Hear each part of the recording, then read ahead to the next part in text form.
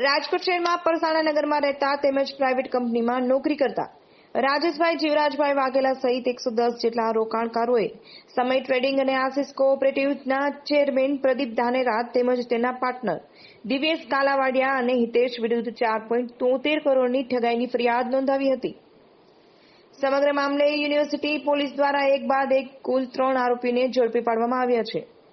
કૌભાંડનો મુખ્ય સૂત્રધાર પ્રદીપ ખોડાભાઈ ડાવેરા અગાઉ વલસાડમાં શેરબજારનું કામ કરતો હતો. ત્યારબાદ વર્ષ બે હજાર સત્તરમાં તે રાજકોટ રહેવા આવી ગયો હતો. રોકાણકારોને શેરબજારમાં માસિક દસ ટકા વળતરની લાલચ આપી રોકાણ શરૂ કરાવ્યું હતું. ધીમે ધીમે રોકાણકારોની સંખ્યા વધવા લાગતા તેણે રૈયા ટેલિફોન એક્સચેન્જ નજીક સમય ટ્રેડિંગ નામની પેઢી શરૂ કરી હતી. તો જુલાઈ બે હજાર ઓગણીસમાં શીતલ પાર્ક નજીક દસ ફાયર બિલ્ડિંગમાં credit cooperative multi state society નામની પેઢી શરૂ કરી હતી. રોકાણકારોને અગિયાર મહિના સુધી વળતર આપી તેઓ વધુ નાણાં રોકે તે પ્રકારની લાલચ આપવામાં આવી હતી. અગિયાર મહિના સુધી વળતર આપ્યા પછી દર ત્રણ મહિને વળતર આપવાનું કહી નાણાં આપવાનું બંધ કર્યું હતું. ડિસેમ્બર બે હજાર ઓગણીસથી એક પણ રોકાણકારોને વળતર કે મૂડી પરત નહીં આપતા પોલીસમાં અરજી કરવામાં આવી હતી. જે અરજીના આધારે ફરિયાદ નોંધાવવામાં આવી છે. છેલ્લા લગભગ ત્રણ ચાર મહિનાથી અહીંયા રાજકોટમાં એક સમય ટ્રેડિંગ કરીને એક ઇન્વેસ્ટમેન્ટ કંપની છે. જેની વિરુદ્ધમાં વારંવાર રજૂઆત અમારા સુધી આવતી હતી. અમે ડિટેલ ઇન્વેસ્ટિગેશન નવેમ્બર, ડિસેમ્બરમાં આ બાબતમાં કરેલું પણ હતું. પણ પછી ખૂબ રજૂઆતો આવવા માંડી.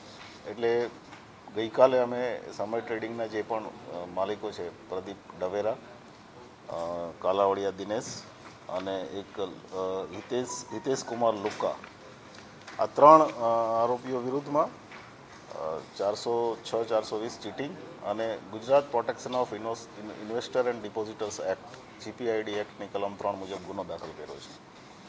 કુલ, કારણ કે આ ઘણા સમયથી ઓપરેટ કરતો હતો બે હજાર સત્તરથી, એટલે એનું જામનગરમાં અને રાજકોટમાં બંને સિટીમાં એનું મોટું ઇન્વેસ્ટમેન્ટ છે. અત્યાર સુધી હજી અમે આરોપીને રાઉન્ડ અપ કર્યા છે. આરટીપીસીઆર ટેસ્ટ કર્યા પછી એને ઓફિશિયલી અરેસ્ટ કરી અને રિમાન્ડ મેળવશું. પ્રાથમિક વિગત મુજબ આમાં સૌરાષ્ટ્રમાં ઘણું બધું ઇન્વેસ્ટમેન્ટ લોકોએ આમાં કરેલું છે.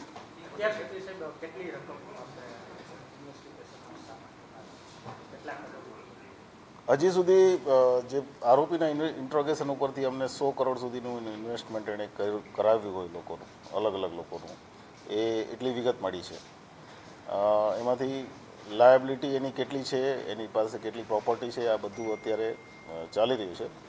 અને આરોપીના પૂછપરછમાં અને એના એના એની ઓફિસનું અમે સર્ચિંગ કરી એની પાસેથી ત્રણ સિસ્ટમ કબજે લીધી છે. એ સિવાય એના ઘણા બધા ટ્રેડિંગ એકાઉન્ટ છે ડીમેટ એકાઉન્ટ છે એના બેંક એકાઉન્ટ ઘણા બધા છે. આ બધા જ અમે ફ્રીઝ કરાવી અને એની એની ડિટેલના આધારે કહી શકશું કે એક્ઝેક્ટલી આ કેટલી અમાઉન્ટ છે.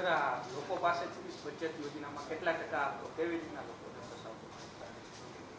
આમાં ઘણા બધા ભણેલા લોકોએ પણ પૈસા ઇન્વેસ્ટ કર્યા છે. આ વ્યક્તિ છે એ ફક્ત દસ ધોરણ પાસ છે. અને એને એને બીજો કોઈ ઇન્વેસ્ટમેન્ટનો અનુભવ નથી. પણ એ લેખિતમાં સ્ટેમ્પ પેપર ઉપર એક વ્યક્તિને ઇન્વેસ્ટરને એક વર્ષમાં એકસો ને ચોત્રીસ ટકા ઇન્ટરેસ્ટ આપવાનો લેખિતમાં આપતો હતો. અને પ્લસ મૂડી જ્યારે માગે ત્યારે બે મહિના પછી પરત આપવાનું. આ પ્રકારની સ્કીમ હોવાને કારણે અને બીજું એમાં ઇમ્પોર્ટન્ટ ફેક્ટર એ છે કે એમાં એજન્ટો એણે જે એપોઇન્ટ કર્યા હતા એજન્ટોને વન ટાઈમ ઇન્વેસ્ટમેન્ટ લાવે તો પણ દર મહિને બે ટકા કમિશન આપતો હતો. એને કારણે થઈને ખૂબ એજન્ટોએ એમના સગાવાલાના અને બીજા બધા લોકોના ઇન્વેસ્ટમેન્ટ લાલચમાં લોકો ઇન્વેસ્ટમેન્ટ કર્યું છે. આગળ ઉપર ડિટેલમાં બીજા કોના કોના રોલ છે એ પણ આમાં તપાસમાં લઈશું. આ ઇન્વેસ્ટ આવતા એ ક્યાં રોકાણ કરતો શેર બજારમાં ખાસ ઇન્વેસ્ટ પોતે કરતો કે શું કરે? હજી પ્રાઇમરી સ્ટેજે અમારી તપાસ છે પણ શેરબજારના શેર બજારના એના ચારેક એકાઉન્ટ અમે આઈડેન્ટિફાઈ કર્યા છે. ટ્રેડિંગ એકાઉન્ટ અને ચારેક એના અલગ બીજા ડીમેટ અને બેંક એકાઉન્ટ છે. એટલે આ બધા જ પૈસા એ શેર બજારમાં ઇન્વેસ્ટ કરતો હતો પ્લસ એને લક્ઝરિયસ ગાડીઓ વસાવેલી છે. એણે થોડી ઘણી પ્રોપર્ટી પણ લીધી છે. આ બધું અમે અત્યારે કબજે કરી રહ્યા છીએ. આગળ ઉપર ડિટેલમાં આપણે કહી શકશું કે એક્ઝેક્ટ આટલા